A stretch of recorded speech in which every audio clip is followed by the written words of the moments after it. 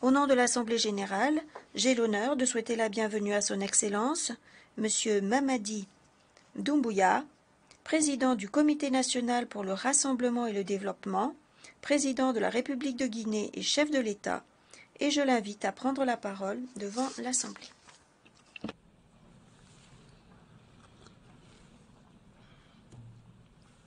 Monsieur le Président, Excellences, Mesdames et Messieurs les chefs de délégation, Monsieur le Secrétaire général, je voudrais, avant de commencer, Monsieur le Président, vous adresser les salueuses félicitations de la délégation guinéenne pour votre brillante élection à la présidence de la 78e Assemblée générale des Nations unies. Je voudrais également, devant cette auguste Assemblée, vous assurer du soutien de mon pays. Je souhaite par la même occasion rendre un hommage mérité à votre prédécesseur, M. Sabah Korosi de la Hongrie, à M. le secrétaire général, M. Antonio Guterres.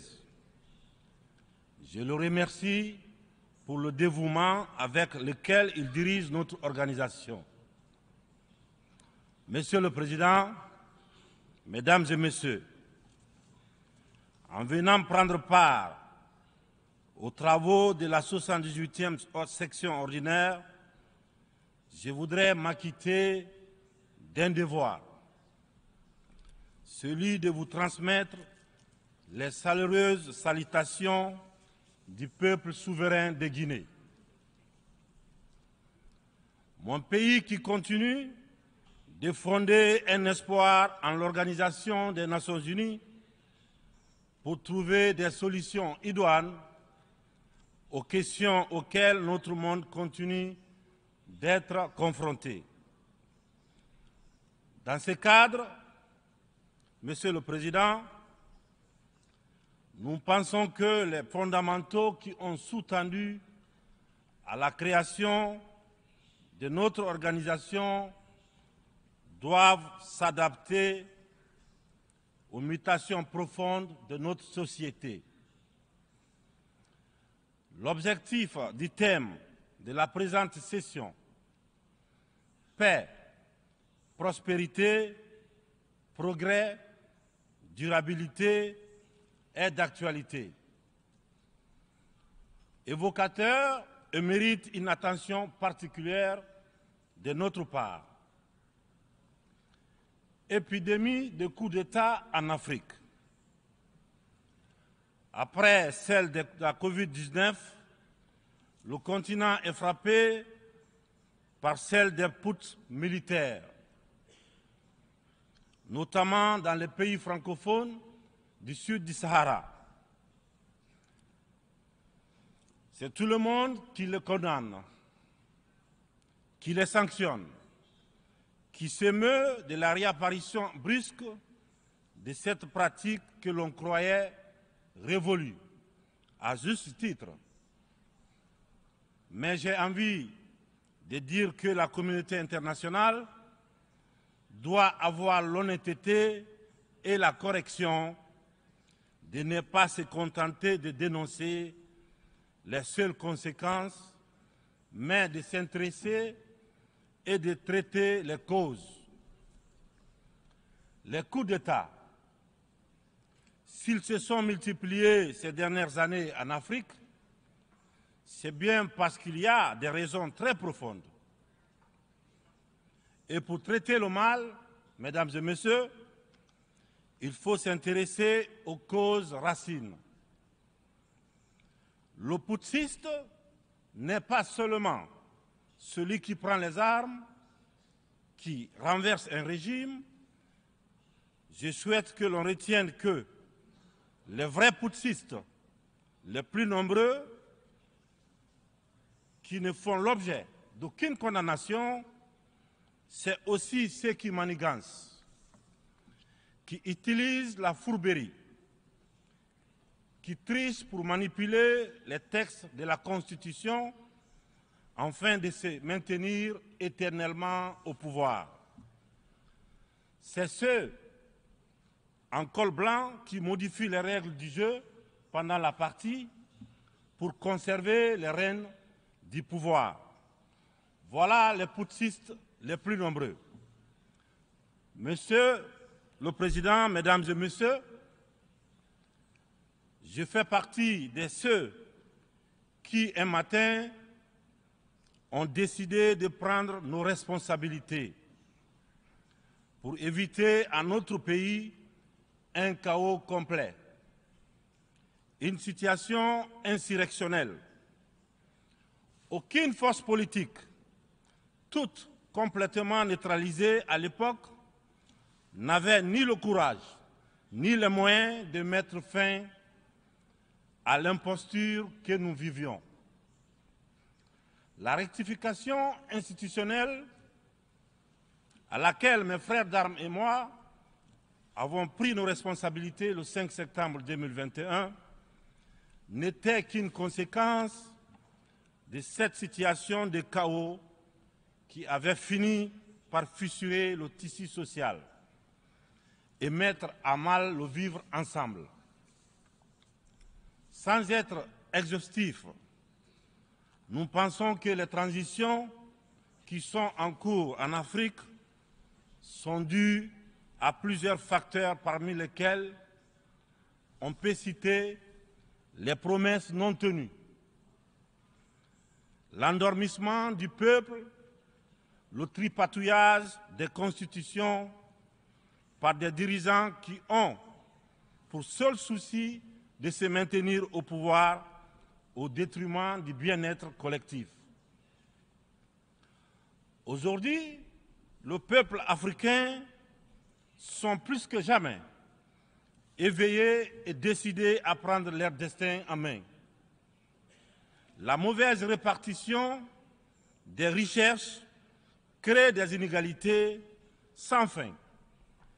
La famine, la misère qui rendent le quotidien de nos populations de plus en plus difficile. Ces inégalités font partie des causes des événements qui mettent en péril surtout le vivre ensemble. Quand les richesses d'un pays sont dans les mains d'une élite, alors que les nouveau-nés meurent dans les hôpitaux par manque de couveuses. Il n'est pas surprenant que dans de telles conditions, nous assistons à des transitions pour répondre aux aspirations profondes du peuple. L'Afrique souffre, mesdames et messieurs. Elle souffre d'un modèle de gouvernance qui lui a été imposé. Un modèle certes bon, et efficace pour l'Occident, qu'il a conçu au fil de son histoire, mais qui a du mal à passer et à s'adapter à notre réalité, à nos coutumes, à notre environnement. Hélas, j'aimerais dire que la grève n'a pas pris. Je sais que lorsque je dis cela, tout de suite, ils sont nombreux à se dire encore un bidas qui veut tordre le cou à la démocratie. Encore un soldat qui veut imposer sa dictature. Cependant, de façon très claire, sans hypocrisie, sans faux semblant, les jeux dans les jeux. Nous sommes tous conscients que ce modèle de démocratie que vous nous avez si insidieusement et savamment imposé après le sommet de la Baule en France, presque de façon religieuse, il ne marche pas. Les différents indices économiques et sociaux sont là pour démontrer ce n'est pas un jugement de valeur, sur la démocratie en elle-même, croyez-moi, bien entendu, c'est un constat, c'est un bilan. Sur plusieurs décennies d'expérimentation chaotique de ces modèles dans notre environnement, une période où il n'a été question que des outils politiques, au détriment, bien sûr, au détriment de l'essentiel, qui est l'économie, la transformation de nos matières premières sur place. Permettez-moi de pousser l'exercice de vérité un peu plus loin.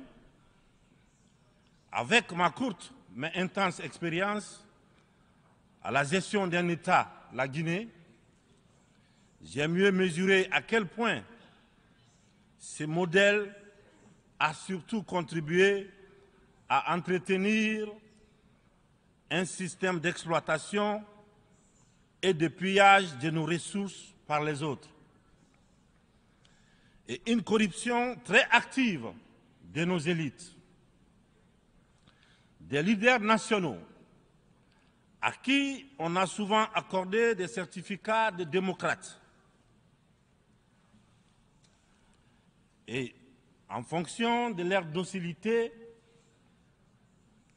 ou de leur aptitude à brader les ressources et les biens de leur peuple, ou encore de leur facilité à céder aux pseudo-recommandations et injonctions des grandes puissances. Je dois d'ailleurs, dans ce sens, confesser que tout ce à quoi je fais face dépasse l'imagination. Ce sont les mêmes qui confessent la démocratie, la transparence, qui dénoncent la mauvaise gouvernance et la corruption, qui dictent les règles, c'est eux qui en offrent très discrètement et surnoisement redoublent de pression pour nous faire céder notre patrimoine dans des contrats lyonnais.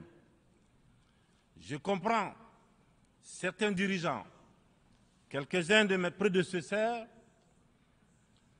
qui, parce qu'ils avaient des fragilités, parce qu'ils étaient sous pression, ou parce qu'ils traînent des casseroles, ou surtout parce qu'ils avaient des agendas politiques, ont cédé à ce qu'on leur demandait. Je les comprends sans les approuver. Certains m'ont même rappelé que si j'avais un agenda politique, je serais moins à l'aise pour mener à bien les réformes auxquelles mon gouvernement et moi nous nous sommes attaqués. Une chose est certaine, nous n'avons qu'une seule préoccupation, le bien-être du peuple et le vivre ensemble. C'est cela notre priorité. C'est pourquoi la transition que je dirige a choisi de se consacrer avec méthode en fixant les objectifs clairs dans un ordre précis. Le social, l'économie et le politique.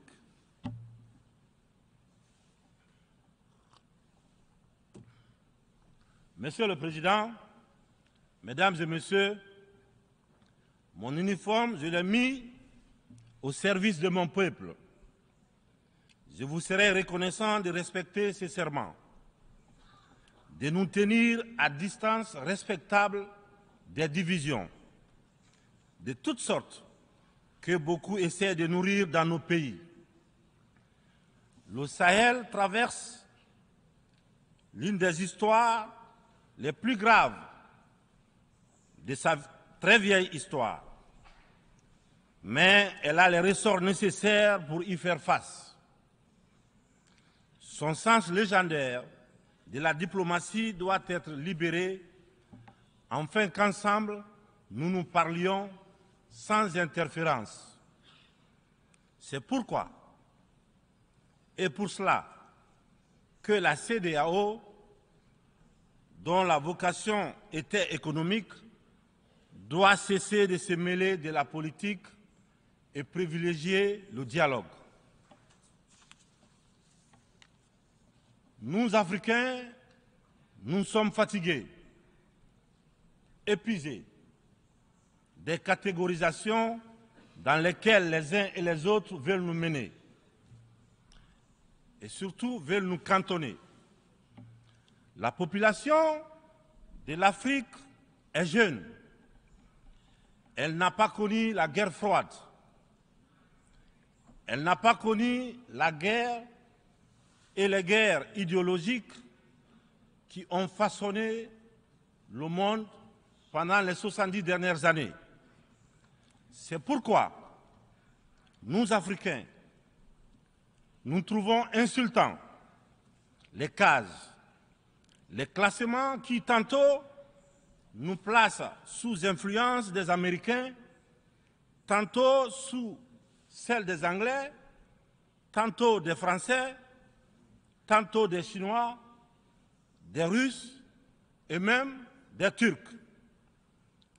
Nous ne sommes ni pro, ni anti-américains, ni pro, ni anti-chinois, ni pro, ni anti-français, ni pro, ni anti-russe, ni pro, ni anti-turc. Nous sommes tout simplement pro-africains. C'est tout.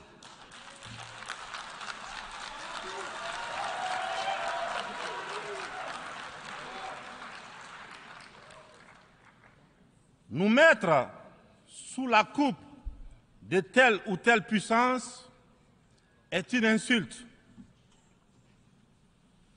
du mépris, du racisme vis-à-vis d'un continent de plus d'un milliard trois cents millions de personnes. Il est important, dans cette prestigieuse et influente Assemblée, que l'on comprenne clairement que l'Afrique des papas la vieille Afrique, c'est terminé.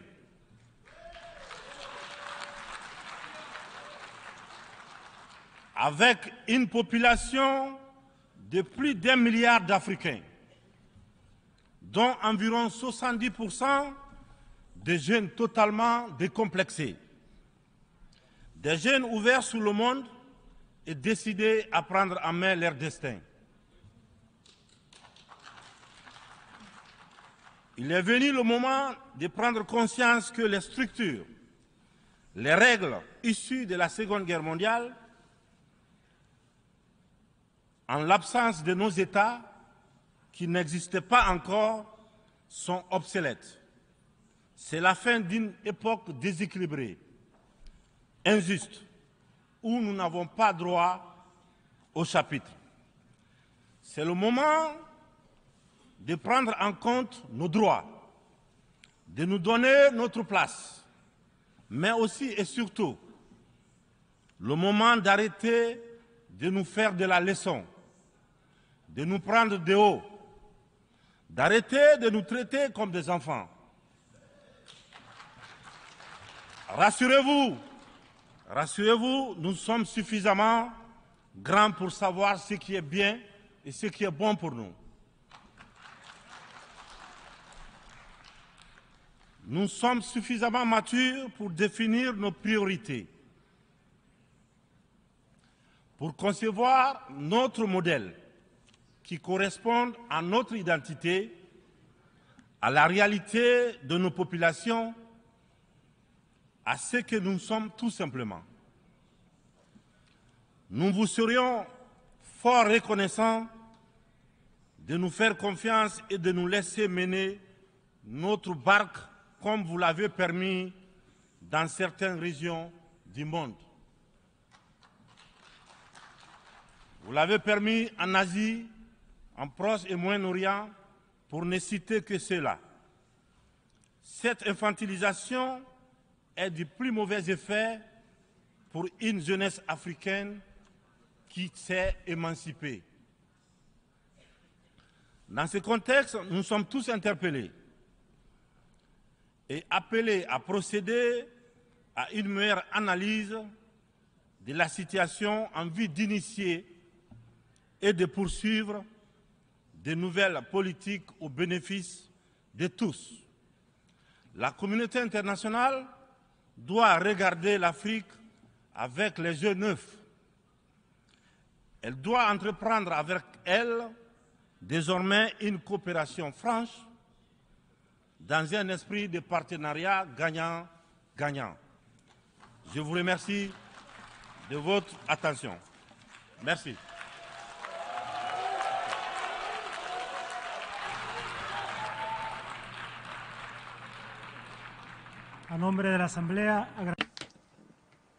Au nom de l'Assemblée générale, je tiens à remercier le président du Comité national pour le Rassemblement et le Développement, président de la République de Guinée et chef de l'État, de l'allocution qui vient de prononcer. Je prie le protocole de bien vouloir raccompagner son Excellence.